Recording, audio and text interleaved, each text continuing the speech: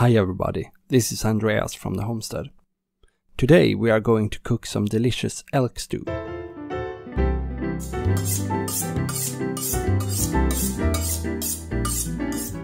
We take out our meat and begin to cut the meat into smaller pieces. So this is my best recipe for cooking elk.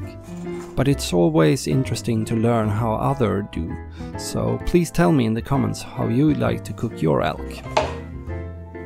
When we are done with all the cutting, we prepare to fry the meat really fast in a cast iron pan, so we can contain the yumminess of the meat. While we wait for the butter to melt in the pan, we take out some carrots and onions and peel them.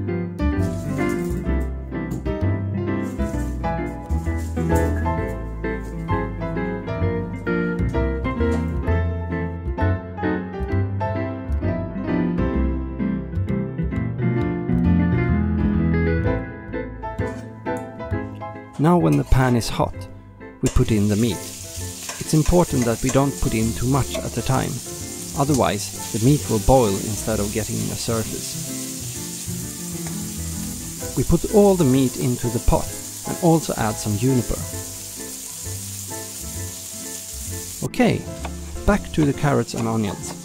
We cut them into small pieces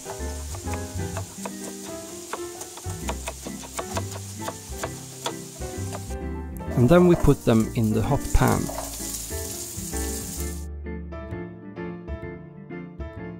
After that we take some thyme and chop it so we get all of the fantastic flavors out of it.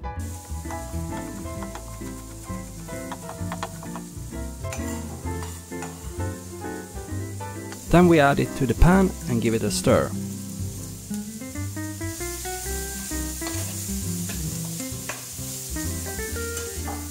We take some good red wine to give the stew a round nice taste to it.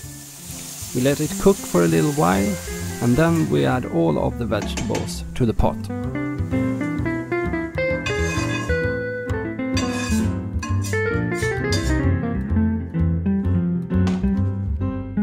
Before we start to boil the meat, we add just enough water so that all the meat will be submerged.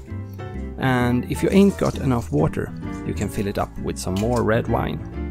We add salt, black pepper, soy sauce, and some blackcurrant jelly.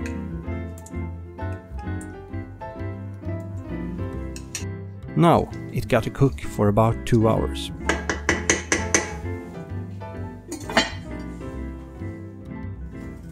When it's about 30 minutes left, we peel the potatoes for the incredible good mashed potatoes. I use a potato that easily falls apart when you cook them.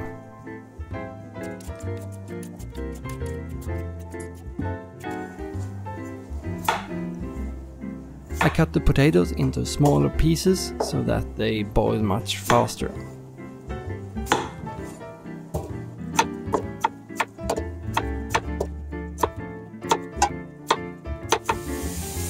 And then we add some water and boil them.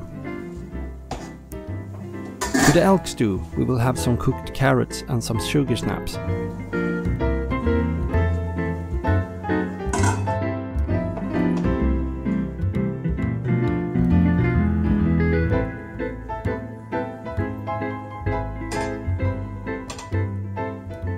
Now, when the meat have been cooking for about 2 hours, we take the meat out of the pot so we can make the sauce.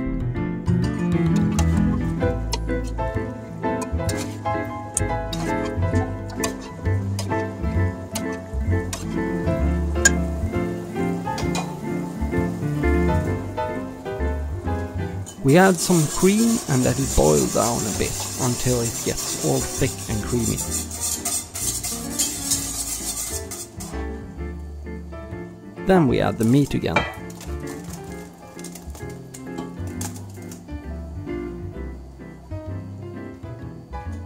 And some yellow chanterelles.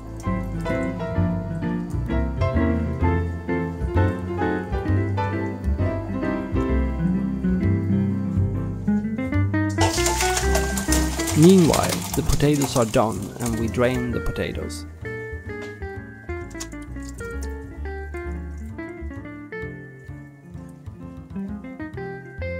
And mash them with a beater.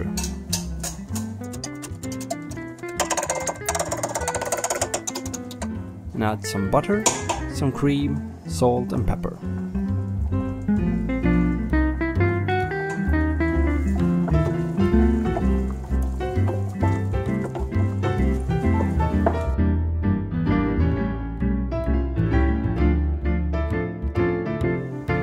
And there we have it, elk stew with yellow chanterelles, mashed potatoes, carrots, sugar snaps and some black currant jelly. This is my idea of a good healthy meal.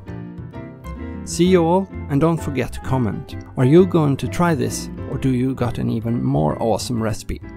Please share it with us. Hope you enjoyed this video and be sure to subscribe to get notified when I release the next video.